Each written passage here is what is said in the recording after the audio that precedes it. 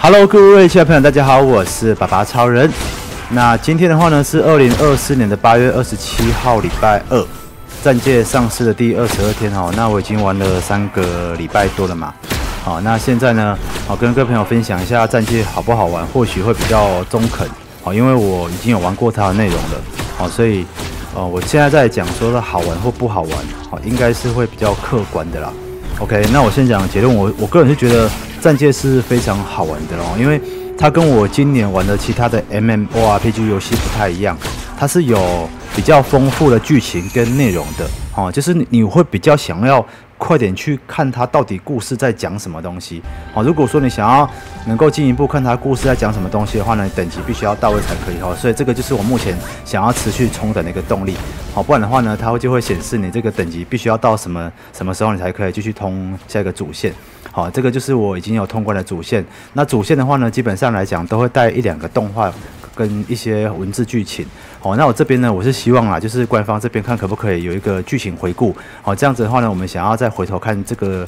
这个动画的话呢，会比较方便一点一一些些哦，不然的话，如果当下没有录到或没有记录到的话呢，基本上就没办法回味了，哦，我我在想，应该也没有人特别去剪整个一个动画吧，好，把它做成一个合集，哦，应该是没有，我是希望可以提供这个功能，OK，好，那再来的话呢，我必须要称赞一点，就是说这个。游戏它的这个收藏呢是非常简单的，好，你有没有看到它这个需要的条件都非常的低啊？好，你看到像我这个已经完成的，很多都是直接拿到就就塞了就好了哈，根本不需要再特别的加持。那这个也只是加四，那有些甚至还不用加四，只要加二就是加一半就可以了。它这个收藏呢都非常的容易达成。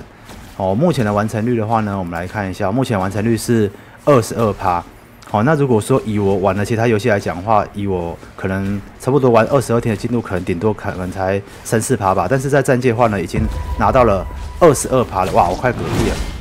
哦，因为这边有这个时空侵略指挥官啦。啊，在我主线这边，我先回去一下好了，不然待会就死掉了。好，所以呢，我觉得它的收藏是很简单的。那如果说有一些需要过比较多的部分的话呢，其实它也不用过很多。哦，它只需要过二而已，像这个是加八嘛，这个过二，而且它加加七到加八，就加六到加七到加八，其实也不会很困难，不需要很大量体。好，那唯一哦比较辛苦的地方在于说，有一些装备呢，它需要的等级比较高。好，譬如说像我们点魔法好了，哈，一些比较后面的一些装备的话呢，它需要打比较高等级的一些怪物。我看看有没有例子可以举哦，好像都没有诶，都很很容易拿到。看一下。啊，这个嘞，啊，这个四十六级就有了。我看看，我看看。啊，这个好像这个的话呢，就比较难完成，因为它需要打比较高等的怪物是可以拿到。但是呢，基本上来讲，你前面一些比较低等的怪物呢，你只要弄得够久，你都可以把这些收藏给它完成，机体都可以上去的。所以这一点呢，我是觉得它跟其他游戏不太一样的地方，就是在于说收藏很佛心，很好搞。那再来就是活动的部分啦，我觉得。赠送的部分也送蛮大的哦，你看哦，像这个亚影战场活动，它现在就有送纸布了。好，史诗制作配方，你只要把这些活动都完成的话，就送纸布了。好，那正常的游戏的话呢，应该不会那么快，在开服没多久的时候就直接送你纸布。好，那纸布的话呢，它可以做很多的一些装备嘛，就是武器啊，哦防具，哦或者是饰品都可以。它这个是通用的纸布啊，不是那种烂烂的哦。那如果说你要做比较好的王装的话呢，基本上来讲。也不会很困难，譬如说像这一把是最好的巨剑嘛，混沌破坏者，它需要五个网的精髓。那网的精髓的话呢，哦，正常是要打王才可以取得嘛。那其实它的管道来源也很多哈，比如说像我们三在这边有个兑换所，这边有个骑士团铸币，那你只要呃有三千六百个铸币，你就可以买这个网的金水的。那这个骑士团铸币的话呢，也很好取得，哦，就是很多资源都非常容易取得，不会很很高的门槛，不会需要你花很多的钱。好，你看啊，像捐献的话可以拿骑士团铸币嘛，然后还有签到也有，然后再来就是你通关副本也可以拿到大量的骑士团铸币。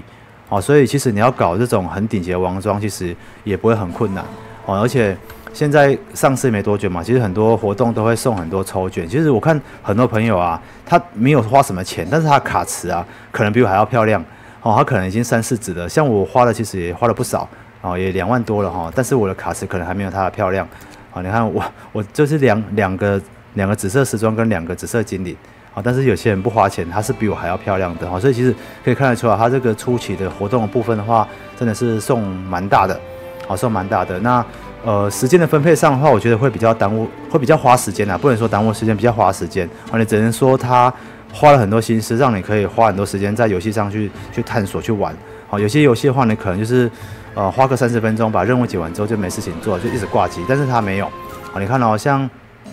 这个我先讲一下好了，譬如说像这个 boss，boss 的部分的话呢，它是固定时间的，每天的十二点，还有这个两点，下午的四点，晚上的六点，还有晚上的八点，哎，这个是十点啊，对不起，十点，好，它都有这个网啊，会会固定出现，你可以过去打，过去蹭，好，然后世界 boss 的部分的话呢，就是每天的这个十二点，还有七点，好，跟晚上的十二点也都可以打，然后每天的这个下午的。三点到四点，还有每天晚上的十点到十一点，也有西山可以打。你可以打跨服的朋友，好。然后最近的话，又新出了这个世界副本，好，这个暗影战场。这个暗影战场的话呢，很好玩哦。它是每个礼拜四跟礼拜天的晚上的九点十分十分到九点半，好，你可以跟不同伺服器、不同骑士团的朋友去做团团队之间的对抗，就很像在玩传说对决一样。我觉得。应该会非常非常好玩，那这个是它的奖励，好奖励的话呢也很棒啊，所以基本上来讲，它的这些活动，好都会提供了很高的一个诱因，让你愿意去参与，好那这个是组队副本，特殊副本每天重置的，哦都有六十分钟可以去打，这个是一般副本，每个礼拜重置的，好所以基本上如果说你玩了战界，想要同时在玩其他游戏，你可能会没有精力。好，如果你要玩的话，我是建议的，就是好好的专心的玩战界，它应该就可以把你可能生活中好多余的时间把它填满了，好，把休息时间把它填满了。OK，好，总而言之就是我是蛮推荐玩战界的啦。如果说你真的一时间好不知道玩什么游戏的话呢，好，战界好真的很值得你入坑。好，以上简单的分享，谢谢你们的聆听，拜拜。